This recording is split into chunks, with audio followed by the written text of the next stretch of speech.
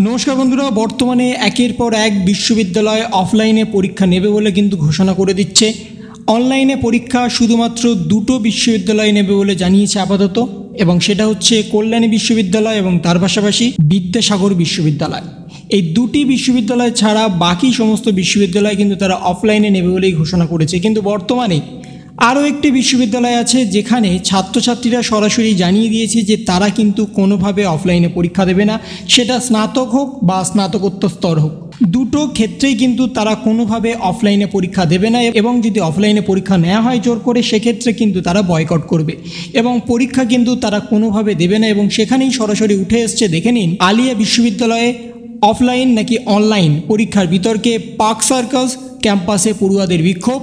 Online পরীক্ষার দাবি জানিয়েছে তারা। অনলাইন না হলে পরীক্ষা বয়কটের হুঁশিয়ারি দিয়েছে পড়ুয়ারা। অনলাইনে পরীক্ষায় বেশ নম্বর উঠবে। অন্যরা অনলাইন করলে আলিয়া বিশ্ববিদ্যালয় করবে না কেন? এই প্রশ্ন তুলে বিক্ষোভ শুরু করে পার্ক সার্কাস ক্যাম্পাসে। অফলাইনে পরীক্ষার সিদ্ধান্ত বদল করা যাবে কিনা তা নিয়ে বৈঠকে সিদ্ধান্ত নেওয়া হবে, জানালো আলিয়া বিশ্ববিদ্যালয় কর্তৃপক্ষ। কিন্তু ইতিমধ্যে রবীন্দ্র ভারতী বিশ্ববিদ্যালয় সরাসরি কিন্তু জানিয়ে দিয়েছে যে তারা অফলাইনে পরীক্ষা নেবে। স্রোতের বিরুদ্ধে তারা হেঁটে সরাসরি স্নাতক এবং স্নাতকোত্তর স্তরের সমস্ত পরীক্ষা তারা অফলাইনে নেবে। কোনোভাবে তারা অনলাইনে নেবে না বলে কিন্তু জানিয়ে দিয়েছে আরবিইউ এর উপাচার্য। যদিও বিদ্যাসাগর বিশ্ববিদ্যালয় এবং কল্যাণী বিশ্ববিদ্যালয়ে সরাসরি তারা অনলাইনে নেবে এবং এই নিয়ে রবীন্দ্র ভারতী বিশ্ববিদ্যালয় উপাচার্যের ঘরের সামনে পড়ুয়ারা অবস্থান বিক্ষোভ করছে বর্তমানে।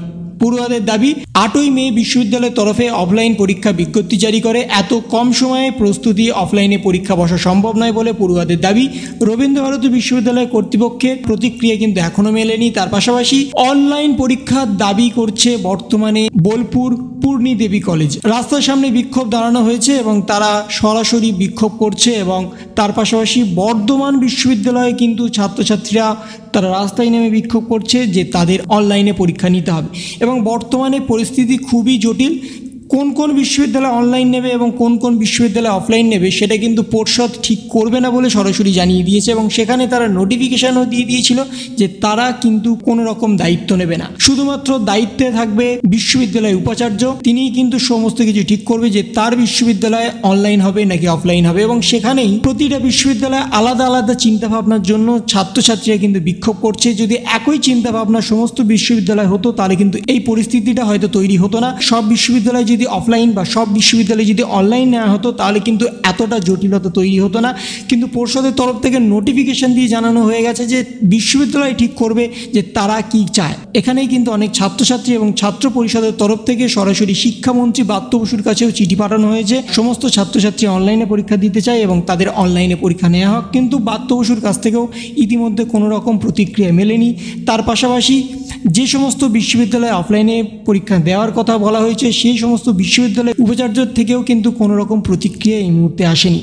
তাহলে এই ছিল একটা ছোট্ট আপডেট আপনাদের সকলের জন্য। যদি আপনাদের ভিডিওটা ভালো লেগে থাকে, তবে লাইক করুন শেয়ার করুন এবং অবশ্যই সাবস্ক্রাইব করুন। তার পাশাপাশি আপনার মতামত কমেন্টের মাধ্যমে জানান।